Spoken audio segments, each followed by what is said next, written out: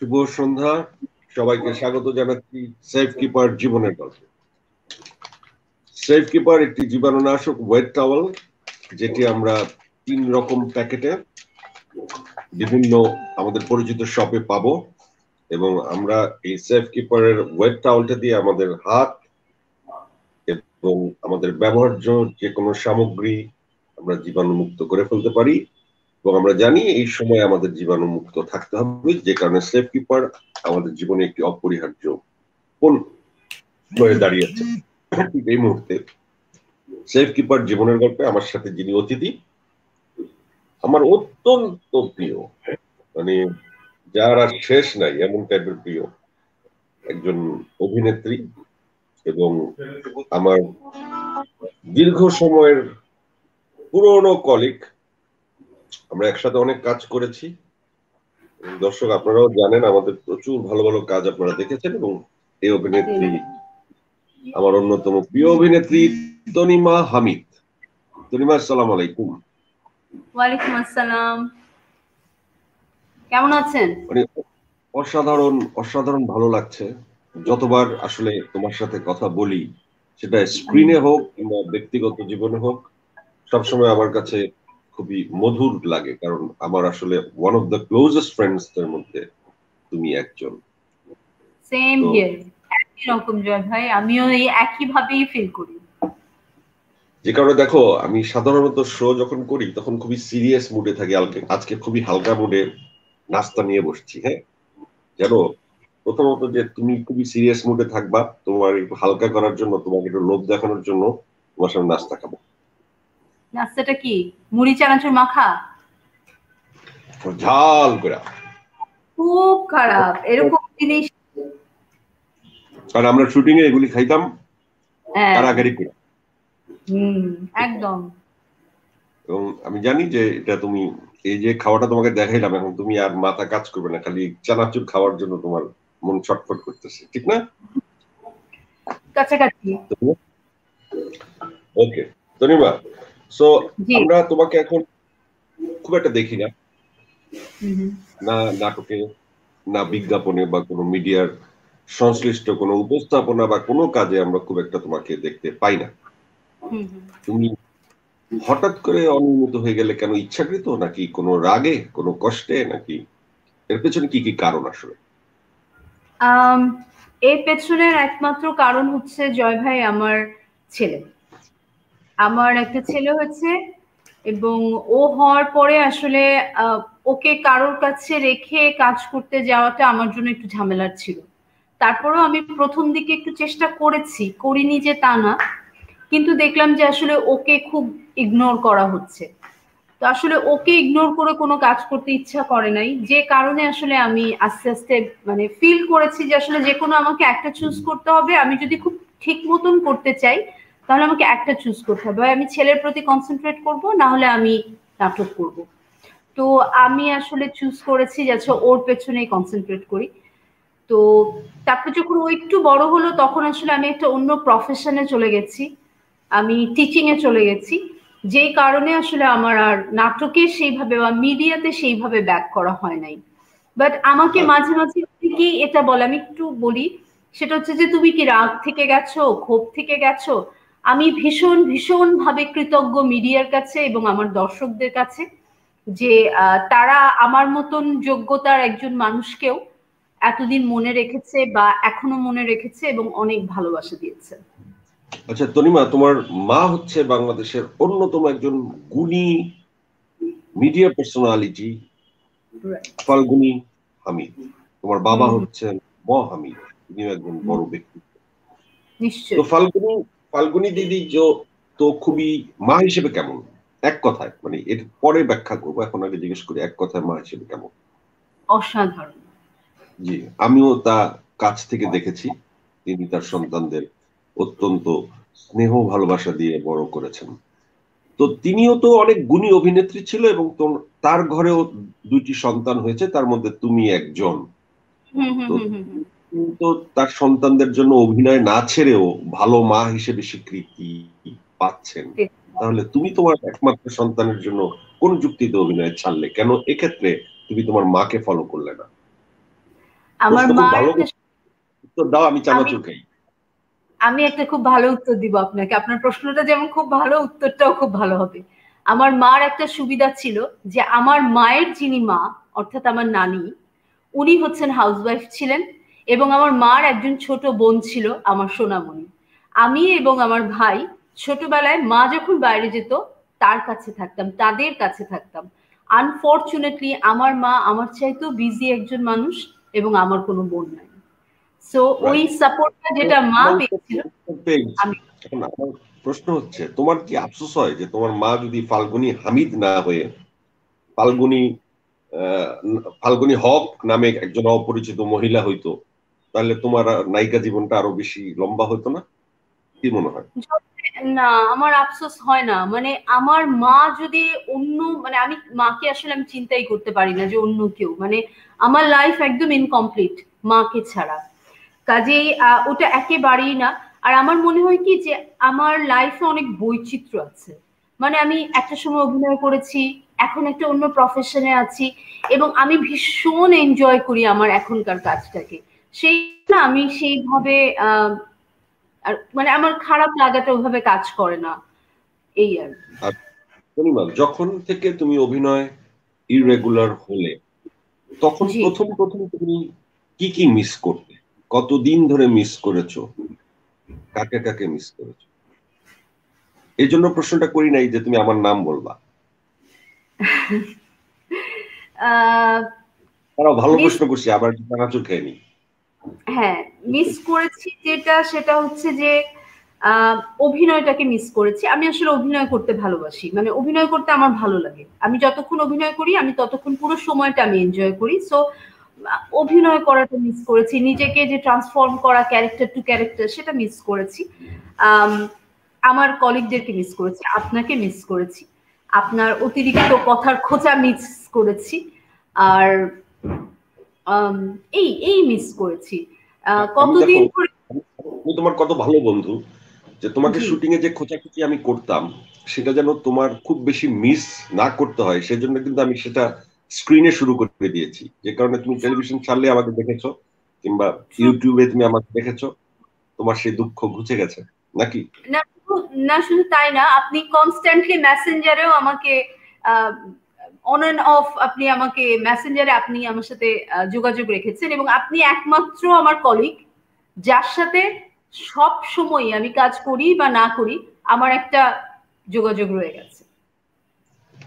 অসাধারণ অসাধারণ কমপ্লিমেন্টস এবং আসলে সম্পর্কটা তো সেরকমই, কারণ আমার মনে আছে যে তোমার সাথে আমার প্রথম কাজ উনিশশো নিরানব্বই সালে এবং সেটা টেলিভিশন ধারাবাহিক খুবই পপুলার কন্যাকুমারী। কন্যাকুমারী আজকের এই সময় এসে আজকের দর্শক কতজন সেই নাটকের কথা মনে রেখেছে আমি জানি না কিন্তু উনিশশো নিরানব্বই সালে সেই নাটকটি বাংলাদেশে সবচেয়ে পপুলার নাটক হিসেবে পরিচিত হয়েছিল সেই সময়ে সেই দুই তিন বছরের ভিতরে এবং সে গল্পটি ছিল অসাধারণ তুমি একটি গরিব মেয়ে বিদেশ থেকে হ্যাঁ। আমি আসি আর বড় লোক একটি বোন থাকে তোমার। ফারজানা ছবি। কাকে হ্যাঁ, হ্যাঁ। বিয়ে করব এই নিয়ে গল্পটা আগায় এবং দর্শক খুব চাইতো যে তোমার সাথে আমার বিয়েটা হোক ছবির সাথে না হোক। এই গল্পটা ছিল এরকম। তো দর্শক চাইতো তুমি কখনো চাইলে না কেন?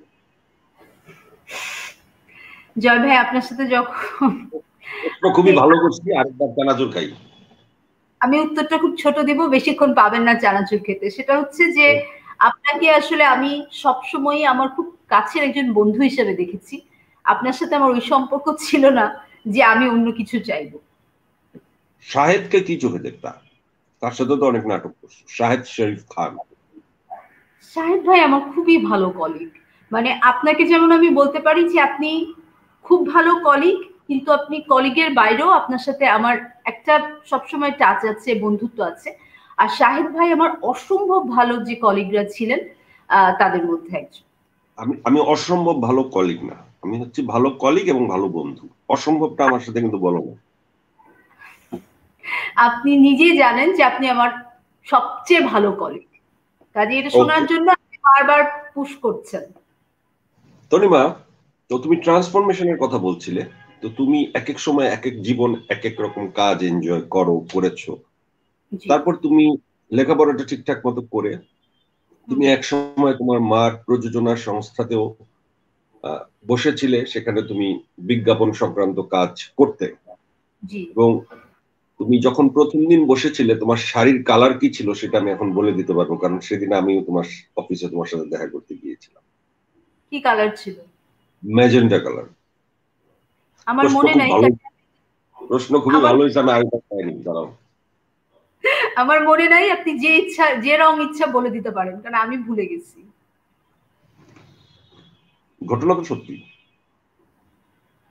ঘটনা সত্যি হ্যাঁ মানে ঘটনা সত্যি শাড়ির রংটা আমার মনে নেই। ওকে বাদ দাও।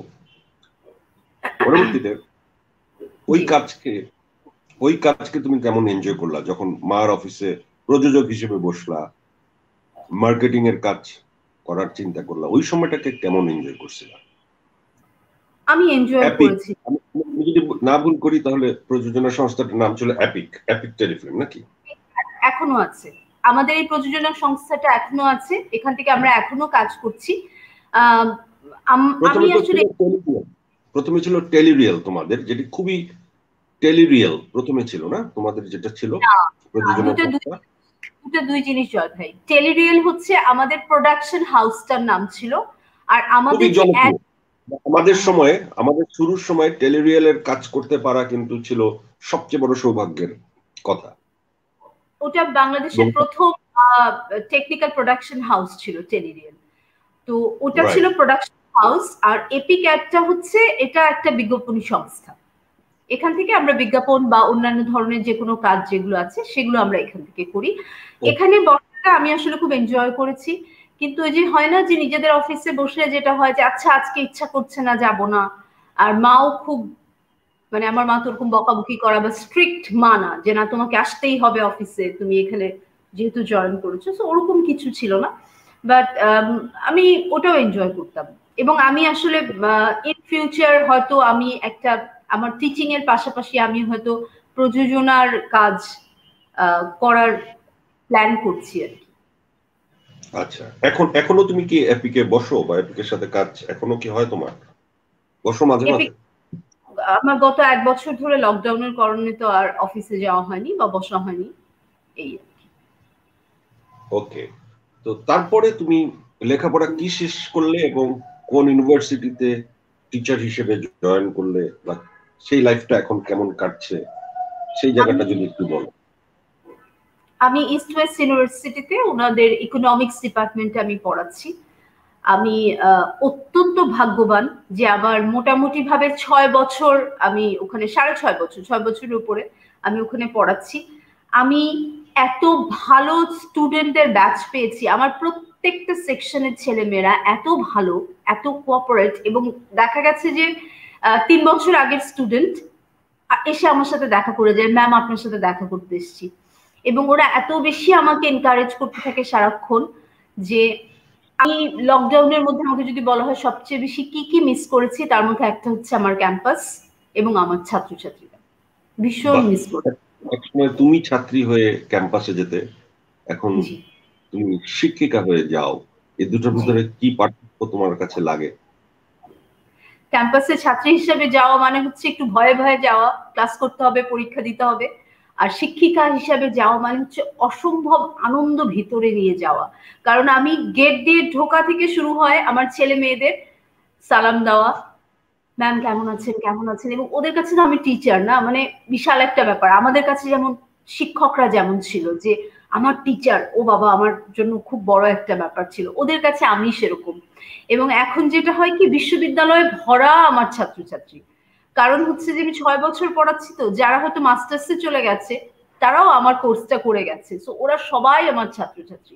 লিফটে উঠবে না দাঁড়িয়ে থাকবে ম্যাম আসছে। ম্যামকে আগে উঠতে দিতে হবে? মানে আমি খুব এনজয় করি।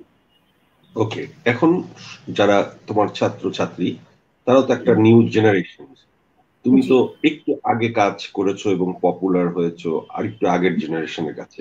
এই জেনারেশন তোমাকে অভিনেত্রী তনিমা হামিদকে কীভাবে চেনে, মূল্যায়ন করে বা তারা কি আসলে করে না তারা ভুলে গেছে না চেনেই না এই জেনারেশন কি মনে হয়?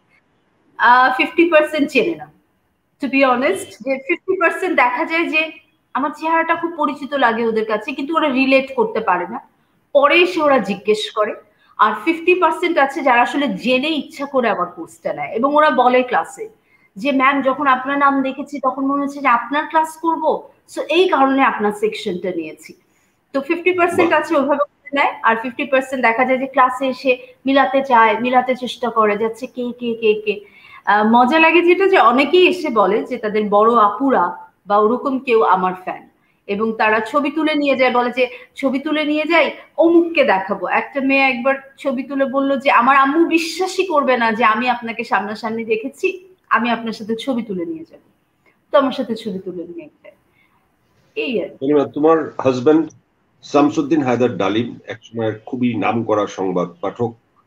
তিনি সংবাদ যখন পাঠ করতেন সবাই মন্ত্রমুগ্ধ হয়ে তার সংবাদ পাঠ শুনতেন। তোমার বাবা বিখ্যাত মানুষ ম হামিদ তোমার মা তো খুবই প্রিয় এবং বিখ্যাত ফাল্গুনি হামিদ। তোমার খালাও ছিলেন অভিনেত্রী তুলিকা চৌধুরী যিনি মারা গেছেন কিছুদিন আগে। তো পুরো পরিবারটাই তো তোমরা একটা স্টার পরিবার। আমি একেবারে সেটাকে স্টার ফ্যামিলি বলব, কারণ আমি যখন তোমাদের দেখেছি তখন তোমরা ফুল ফ্যামিলি স্টার। তখন এই স্টারিজম ক্ল্যাশিং কি আছে তোমাদের পুরো ফ্যামিলির ভিতরে? কে কাটছে বড় স্টার? কে কাটছে বেশি জনপ্রিয়? কে কাটছে বেশি ক্ষমতা বেশি? এরকম কোন ব্যাপার কি তোমাদের ইন্টারনাল কোনো দ্বন্দ্ব আছে না? তোমরা মিলে মিশে সবাই একটা পাওয়ার জয় ভাই আমি আসলে এটা কখনো ভাবি না এবং আমার বাড়ির কেউ ভাবে না যে আমরা প্রশ্ন ভালো হয়েছে। খুব ভালো হয়েছে। তো আমরা আসলে কেউ না কখনো চিন্তা করি আমরা আসলে কেউ কখনো চিন্তা করি না যে আমরা স্টার। মানে আমরা সবাই মনে করি যে আমরা একটা শিল্পের যাত্রার মধ্যে আছি। যার যার জায়গা থেকে আছি, কেউ হয়তো খবর সংবাদ পাঠের মাধ্যমে আছি, কেউ নাটক নির্মাণের মাধ্যমে আছি, কেউ অভিনয়ের মাধ্যমে আছি, আমরা শিল্পের একটা যাত্রার মধ্যে আছি এবং এখানে কোনো স্টার নাই, কোনো নন স্টার নাই, এরকম কিছুই নাই। আর যেটা হয় কি যে আমাদের সবার একজনকে আরেকজনকে এত বেশি আমরা সহযোগিতা করার চেষ্টা করি, যেমন আমার ধারণা ডালিমকে এখন তো নিউজ পড়ে না আমি যতবার ওকে বলি যে, প্লিজ তুমি সপ্তাহে একদিন হলেও নিউজটা পড়ো। বিকজ তুমি এত ভালো করতে, মানুষ তোমাকে পছন্দ করতে, তুমি কেন পড়বে না? একই রকম বিষয় হচ্ছে মার ক্ষেত্রেও। আমি মাকে হাতে পায়ে ধরে মোটামুটি রাজি করিয়েছি যে, আমি যদি কখনো একটা চলচ্চিত্র নির্মাণ করি, সেখানে যেন মা কাজ করেন। কারণ আমি জানি যে, মার মতন এত গুণী অভিনেত্রীর কাজ করা উচিত। আর বাবার কথা তো আসলে বলার মানে যোগ্যতা বা সাহস কোনোটাই আমার নাই। আর আমার কিন্তু আমার কাছে মনে হয় তোমাদের পুরো পরিবারটা মানে ম হামিদ স্যার ফাল্গুনি হামিদ ম্যাডাম তুমি তোমরা তিনজনই খুবই আমার কাছে মনে হয় অলস টাইপের। কারণ তোমাদের যে মেধা যে জ্ঞান যে বুদ্ধি তোমরা কিন্তু অতটা কাজ করো একটু আরাম এসে থাকতে পছন্দ করো। তা না হলে সিনেমা ডিরেকশন থেকে শুরু করে বিশেষ করে ফাল্গুনি দিদি ডিরেকশনে অনেক বেশি রেগুলার হতে পারতেন হন নাই। তুমি পারতা এই সমস্ত কিছু করেও ফিল্ম নাটক বানাতে অ্যাটলিস্ট তোমার সেই মেধা আছে। আমার মনে হয় যে মহামিস স্যারও একইভাবে একবার কাজ শুরু করেছিলেন। তারপরে ওনার কাজ আমিও করতে গিয়ে দেখেছি যে উনি আসলে কাজ করতে করতে অনেকটা ঘুমায়ও যায় কারণ এত রিল্যাক্স ওনাকে দিয়ে নাটক সিনেমা বানানো হবে না। কাজে এটা বিষয়টা মানে কি তোমরা কি তোমাদের প্রতি জাস্টিস করলা? নাকি তোমরা আলসামিটা করলা? কি মনে হয়? প্রশ্ন ভালো হইলে বলো আবার খাই। খুব ভালো হয়েছে। আমার উত্তরটা একটু বড় হবে আপনি বেশি করে খান এবার। আচ্ছা যেটা হয় কি যে আমাদের জীবন জীবন দর্শনটা এক একজনের কাছে এক এক রকম। আমাদের কাছে জীবন মানে ঘড়ির কাটার সাথে ছুটে চলানো আমরা অবশ্যই কাজ করব কিন্তু আমরা জীবনকে উপভোগ করব। আমরা ফ্যামিলি টাইম কাটাবো আমরা নিজেদের মতন করে থাকব আমরা নিজেদেরকে সময় দিব আমরা নিজেদের উৎকর্ষের জন্য কাজ করব। যেমন আমার বাবা প্রতিদিন মানে বই না পড়লে আমি, আমার বাবা, আমার মা, আমাদের দিনটাই শেষ হলে যে আমি আজকে কিছুই পড়িনি। এই দিনটা একটা বৃথা দিন। হ্যাঁ তো আমাদের জীবনের ভাবনাটা আসলে একটু আলাদা জয় ভাই।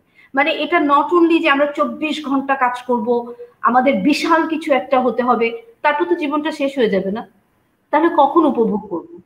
শুধুমাত্র কি কাজ করে বিশাল একটা জায়গায় যাওয়াই কি জীবনকে উপভোগ করা? না। এই যে আমি বিকালবেলা বসে যখন বারান্দায় বসে যখন এক কাপ চা খাই তখন আমি যে আনন্দটা ভেতর থেকে ফিল করি এটাও আমার দরকার আছে। আমি একটা ভালো বই পড়ার পর আমার যে উপলব্ধিটা হয় সেই আনন্দটাও আমার দরকার আছে। সো আমরা কাজ যেমন করি জীবনকে উপভোগ করি আমরা মনে করি না যে জীবন একটা রেস জীবনটা আসলে রেস না জীবনটা একটা জার্নি যেটাকে এনজয় করতে হয়। সেটাই করার চেষ্টা করি। অসাধারণ। আমার নিজেকে ছাত্র মনে হচ্ছে মনে হচ্ছে শিক্ষিকা লেকচার দিচ্ছে আমি শুনছি। আজকের জন্য আমি ছাত্রই কারণ আমার এত সুন্দর জব করে এত সুন্দর করে কথা বলে তার কথাই আসলে শুনতে হয়।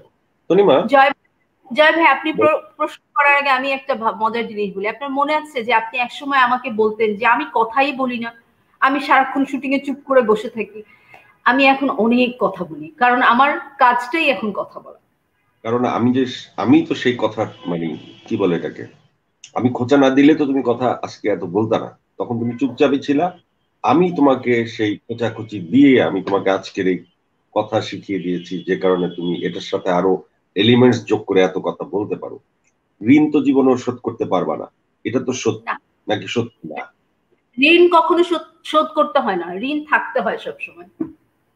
ঋণ যেটা আমিও তোমার আমিও তোমার কাছে ঋণী। তরিমা আমরা জানি যে ধরো একটা সময় আমি দেখেছি যে এখন অনেক শিল্পী রাজনীতি করে রাজনীতির সাথে জড়িত হচ্ছে সরাসরি সক্রিয়ভাবে। কিন্তু আমি নাইনটি নাইন থেকে দেখেছি তোমাদেরকে দেখেছি তোমরা প্রকৃত বর্তমান যে দল ক্ষমতায় আছেন আওয়ামী লীগ সেই দলের সাথে ওতপ্রোতভাবে খালি জড়িতই ছিল না। তোমাদের দর্শন আদর্শ খুব স্ট্রং ছিল।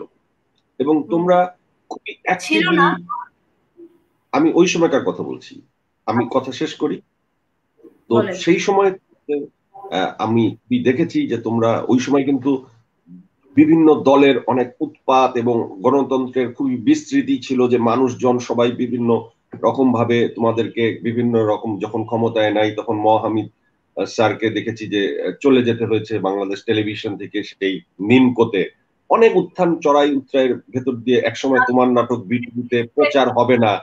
তোমার সাথে নাটক করতে গেলে আমাদেরকে আমরা জানতাম যে নাটক তোমারটা প্রচার হবে না। এই ধরনের ক্রাইসিস তুমি ভোগ করেছ যে কয়জন ভোগ করেছে তার মধ্যে তুমি একজন। কিন্তু সে অর্থে এখন তোমাকে কিন্তু রাজনৈতিক মঞ্চে দলে কিংবা পদে সক্রিয়ভাবে রাজনীতি দেখা যায় না। এটা কি দলের প্রতি অভিমান নাকি তুমি মনে করো যে শিল্পী হিসেবে অন্য কোনো দর্শন তোমার আছে? বা এখনকার শিল্পী যারা সবাই রাজনীতি প্রায় হচ্ছে সেখানে তুমি একটু ভিন্ন পথের পথিক প্রশ্ন ভালো হইলে বলো তাহলে চনাচুর খাই। ডাবল ভালো হয়েছে। এবার ডাবল ভালো হয়েছে অনেকক্ষণ ধরে খান। আপনার প্রশ্নটা অনেক লম্বা আমি উত্তরটাও লম্বা দিব। প্রথম কথা হচ্ছে আপনি যেটা বলছিলেন যে আমি একটা রাজনৈতিক দলের সাথে ওতপ্রোতভাবে জড়িত। জয় ভাই আমি কখনো কোনো রাজনৈতিক দলের সাথে ওতপ্রোতভাবে জড়িত ছিলাম না। আমার পরিবার ছিল সেটা সত্যি কথা। আমার পরিবার ছিল আমার মা এখনও আছেন। বাবাও আসলে সরকারি চাকরি করার কারণে সরাসরি রাজনীতিতে ছিলেন না। আমার চাচারা রয়েছেন, তারা রাজনীতিতে ছিলেন, এখনও আছেন। কিন্তু আমাকে যদি জিজ্ঞেস করেন, আমি বলব যে আমি আসলে সক্রিয় রাজনীতি কোনোদিন করিনি। হ্যাঁ তাদের মেয়ে হিসাবে একটা দর্শন আমার মধ্যে সবসময় ছিল, একটা আদর্শ আমি ধারণ করি। সেটার কারণে আমাকে হয়তো কিছু ঝামেলা পোহাতে হয়েছে যখন অন্য সরকার ছিল। আমি সেটাকে খুব স্পোর্টিংলি নিয়েছি। তখন অনেক ছোট ছিলাম, ফলে কষ্ট পেয়েছি সেটা সত্যি। But then I I take it very sportingly আর এখনকার যেটা ব্যাপার, সেটা হচ্ছে যে রাজনীতি, এখন আপনি যেটা বললেন, সব শিল্পী রাজনীতি করে। যারা রাজনীতি করে, তারা হয়তো রাজনীতিটাকে ভালোবাসছে বা তাদের হয়তো আগ্রহের জায়গাটা তৈরি হয়েছে। আমার না আসলে রাজনীতির প্রতি খুব বেশি আগ্রহ কখনো ছিল না, যে আমি সরাসরি সক্রিয় রাজনীতি করব। এখনও নাই ভবিষ্যতে কোনোদিন হবে কিনা আমি জানি না, সেটা তো ফিউচারে বোঝা যাবে। তো সেই কারণে আমাকে কখনোই রাজনীতিতে আপনারা অ্যাক্টিভ দেখেন না। আর যারা করে, তারা ভালোবাসে আমি বিশ্বাস করি তারা ভালোবাসা থেকেই হয়তো রাজনীতিটা করছে। দু বছর আগে করেনি, দু বছর পরে করছে। সমস্যা কি তাতে? আমি তো সমস্যা দেখি না। আর যার যার যোগ্যতা দিয়েই তো আসলে সবাই নিজেদের পজিশনগুলো হোল্ড করবে। লাস্ট যে কথাটা বলব সেটা হচ্ছে আমি যে কাজটা করছি আমি অত্যন্ত আনন্দের সাথে করছি ফলে আই হ্যাভ নো কমপ্লেন যে আমি আমাকে অন্য কিছু একটা করতে হবে রাজনীতি সক্রিয়ভাবে করতে হবে। উত্তরটা ভালো উত্তর ভালো হয়েছে? কিন্তু চালাচুর খাওয়ার মতো ভালো হয়নি। কাজে নেক্সট প্রশ্ন আবার নেক্সট উত্তর। তোমার আপন চাচা একজন অভিনেতা মাহমুদ সাজ্জাদ অসম্ভব দুর্দান্ত ভালো মানুষ আমাদের খুবই প্রিয় সাজ্জাদ ভাই বলে ডাকি আমরা এত এত দুর্দান্ত একজন মানুষ। আরেক চাচা মন্ত্রী মাননীয় সাংস্কৃতিক মন্ত্রী। মন্ত্রীর মেয়ে হওয়া ভাতিজা হওয়া একই টাইপের বিষয়। ব্যাপারটা কেমন লাগে? একটা মন্ত্রীর ভাতিজি আপন ভাতিজি ভাবতে কেমন লাগে? পাওয়ার পাওয়ার লাগে নাকি সাধারণ মনে হয়? আমার চাচাকে মনে হয় আমার চাচা আমার চাচা যদি মন্ত্রী হইতো আমার কিন্তু হেভি মজা লাগতো। চাচার গাড়িতে ঘুরে বেড়াইতাম মজা করতাম।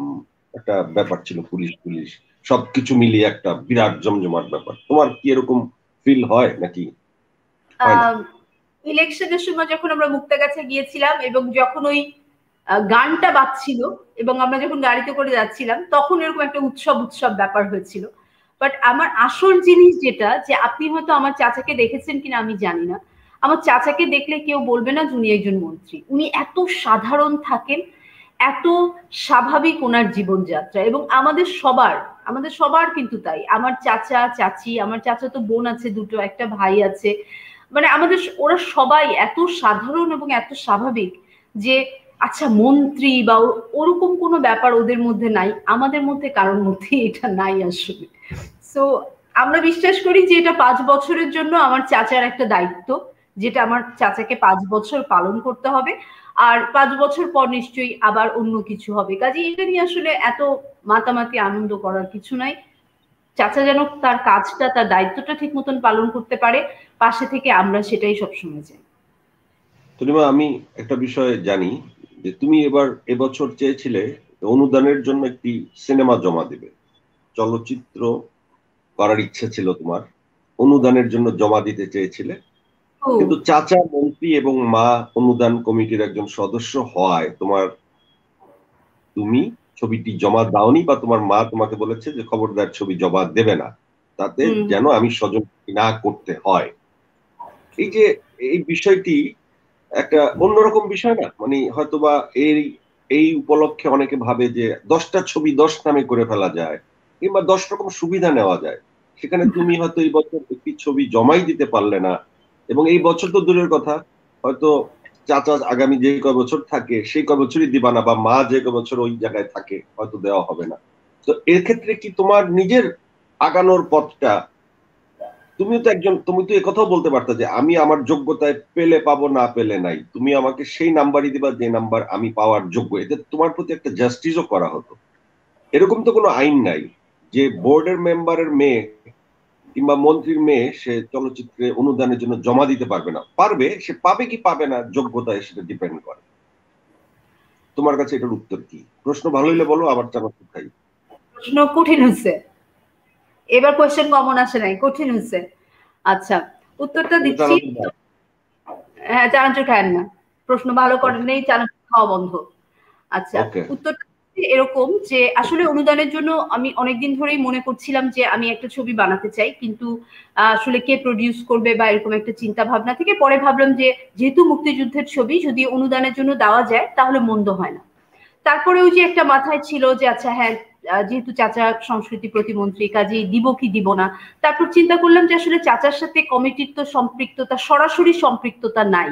বরঞ্চ এটা আসলে তথ্য মন্ত্রণালয়ের আন্ডারে হয়তো পড়বে। সেই কারণে ভেবেছিলাম যে না, জমা দিই। এই ভাবার সাথে সাথেই জানা গেল যে মা হচ্ছে অনুদান কমিটির মেম্বার তো এটা যখন হলো, তখন আমি শুনে আমিও একটু থমকে গেলাম। মাও একটু আমার দিকে তাকালো যে, এখন কি আমরা জমা দিব বা দেওয়াটা ঠিক হবে? পরে আসলে আমরা দুজনেই ডিসাইড করলাম যে, না, মা হয়তো এবারই আছে, সামনের বার হয়তো মা অনুদান কমিটিতে থাকবে না। সো আমি যদি বেঁচে থাকি, তাহলে সামনের বছর দিব।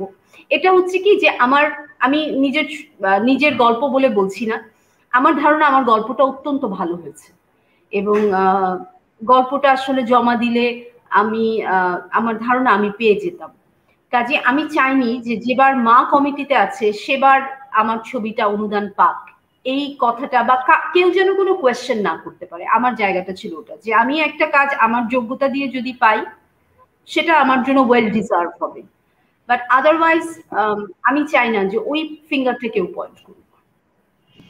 তরিমা আমি যদি ভুল না করি, তোমার আশেপাশে অনেকেই আমাদের চারপাশে অনেকেই আমাদের হ্যাঁ। অভিনয় জগৎ হোক বা আমাদের চেনা জানার জগৎ হোক অনেকেই মনে করে যে জীবনে টাকা উপার্জন এবং অনেক টাকা থাকাই সবচেয়ে বড় অর্জন টাকার পেছনে ছুটে টাকার পেছনে ছুটতে গিয়ে কেউ কেউ দেশ ছেড়ে আমেরিকাতেও চলে যায় কিংবা বিদেশেও চলে যায় এবং জীবনকে সেটেল করার আশায় থাকে সেক্ষেত্রে তোমার কাছে কি মনে হয়? জীবনে কি টাকাই আসল নাকি আসলে একটা মিনিংফুল লাইফ এবং সবকিছুর ব্যালেন্সটা আসল? দুইটাই জয় আমি যদি বলি যে টাকার কোনো দামই নাই, টাকার কোনো প্রয়োজনই নাই দ্যাট উইল বি লাইফ টাকার অবশ্যই প্রয়োজন আছে। কারণ আমাকে একটা মাথার উপর ছাদের জন্য আমার টাকার প্রয়োজন আছে, আমার প্রপার খাওয়া দাওয়ার জন্য আমার টাকার প্রয়োজন আছে, আমার বই কেনার জন্য টাকার প্রয়োজন আছে। কাজেই টাকার দরকার অবশ্যই আছে, কিন্তু টাকাটা যেন কখনোই লাইফের প্রধান বিষয় না হয়ে যায়। অনেক টাকা থাকার কিন্তু আসলে কোনো দরকার নেই। হ্যাঁ আপনি একটা দশ হাজার টাকার কাপড় পরলেন, তারপর আবার পড়লেন আবার পড়লেন একটা সময় কিন্তু ওইটা আপনার কাছে ডাল ভাত হয়ে যাবে। সো ওই, ওইটা আসলে কোনো প্রয়োজন নাই মানুষের। মানুষের মোটামুটি কিছু টাকা থাকার দরকার আছে বাঁচার জন্য। আর বাকি হচ্ছে যে মিনিংফুল লাইফ এবং ব্যালেন্স প্রত্যেকটা জিনিসের ব্যালেন্স সংসারের ব্যালেন্স কাজের ব্যালেন্স ভালোবাসার ব্যালেন্স বই পড়ার ব্যালেন্স আকাশ দেখার ব্যালেন্স সব ব্যালেন্স দরকার। আমার আসলে আমি আমি আমাকে, কোনো একটা ইন্টারভিউতে আমি বলেছিলাম যে আমার আসলে সব দরকার। যে কারণে আমি হয়তো শুধুমাত্র নাটক বা অভিনয় করে যাইনি। আমার নিজের জন্য সময় দরকার, আমার বই পড়ার সময় দরকার, আমার বৃষ্টি দেখার সময় দরকার, আমার ফ্যামিলির সাথে ঘুরতে যাওয়ার সময় দরকার আমার রাস্তায় বসে চটপটি খাওয়ার সময় দরকার আমার অনেক কিছু দরকার। কাজেই দেখা যায় যে আমি আসলে একটা শুধু অভিনয়ের মধ্যে থাকতে পারিনি আসলে। একটা কথা মানুষের বলতে শোনা যায় মানুষকে যে মিড এইজ ক্রাইসিস মানসিক একটা ক্রাইসিস একটা বয়সে এসে সে না যুবতী না সে ঠিক পরিণত বয়সী এরকম একটি মাঝামাঝি বয়সে মাঝামাঝি সময়ে এসে একটি ক্রাইসিস মানুষের মনোজগতে তৈরি হয় ক্যারিয়ারে তৈরি হয় বিশেষ করে শিল্পীদের ক্ষেত্রে বেশি তৈরি হয়। তোমার কি এই ধরনের কোনো ক্রাইসিস ফিল করতে হয়েছে বা এই ধরনের ক্রাইসিসে আসলে করণীয় কি? Mid age crisis mid age ক্রাইসিসে যেটা মানে যেটা হয় আর কি সেটা হচ্ছে যে আপনি যদি অলরেডি একটা সেটেল সংসারে থাকেন মানে আসলে প্রত্যেকটা বয়সের কিছু কিন্তু কিছু দাবি আছে। যে একটা সার্টেন এজে যাওয়ার পরে মানে পরিবার থেকে, সমাজ থেকে সবাই বলে যে বিয়ে করছ না কেন, বিয়ে করছ না কেন কারণ এটা হচ্ছে আপনার বয়সের চাহিদা।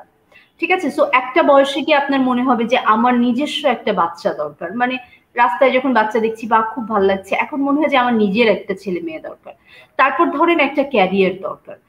প্রত্যেকটা জায়গা যদি আপনি ঠিকঠাক মতন মেনটেন করতে পারেন বা টাচ করে যেতে পারেন, তাহলে কিন্তু আমার মনে হয় এই ক্রাইসিসটা ওভারকাম করা সম্ভব। যখনই দেখা যায় যে কোনো একটা জায়গায় আপনার ফিল ইন দ্য গ্যাপ থাকে, তখনই কিন্তু ক্রাইসিসটা অ্যারাইজ করে।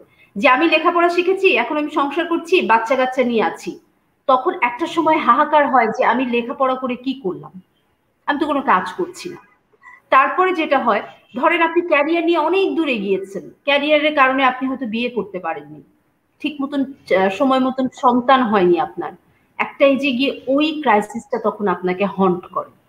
কাজে আপনি যদি বয়সের বয়স অনুযায়ী প্রত্যেকটা কাজ ঠিক সময় করে যান বা কাছাকাছি সময় করতে পারেন তাহলে দেখবেন যে এই মিড মিড এজ ক্রাইসিস বলে আমি তো কিছু ফিল করি নাই। যে মিড এজ ক্রাইসিস বলে কিছু তুমি যেটা বললা সেটা হচ্ছে সব জায়গায় একটা সৌন্দর্য সবকিছুর একটি সৌন্দর্য মেনে নেওয়ার ব্যাপার সবকিছুকে ব্যালেন্স করার কথা বললা কিন্তু আমাদের চোখে মহানায়িকা কিন্তু সুচিত্রা সেন আমাদের বাঙালিদের কাছে বাংলাদেশ এবং ইন্ডিয়ার মহানায়িকা আমরা সুচিত্রা সেনকে ধরি এবং তার জীবনে আমরা দেখেছি উনি কিন্তু ব্যালেন্স করতে পারেননি উনি কিন্তু অনেকটা সময় জুড়েই কিন্তু একটা একাকী জীবন কাটিয়েছেন। তাহলে কি একজন বড় সেলিব্রিটি হলে লাইফকে ব্যালেন্স করা যায় না? এটা কি মাপকাঠি হিসেবে আমাদের ধরে নিতে হবে? আর তা না হলে বড় সেলিব্রিটি হওয়া যাবে না। না, আমার এটা মনে হয় না।